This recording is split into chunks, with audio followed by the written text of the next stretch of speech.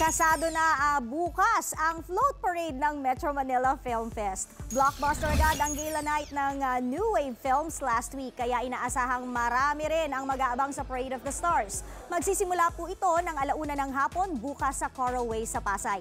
Dadaan ito sa JW Diokno, EDSA Extension, Rojas Boulevard Southbound, South Road at Independence Road bago dumating sa Quirino Grandstand. Nag-abiso naman ang MMDA na isasara ang kahabaan ng Rojas Boulevard mula sa EDSA exit hanggang South Drive pagpatak ng alas 3 ng hapon para sa event. Be sure to come back. News 5 everywhere. Copyright 2015.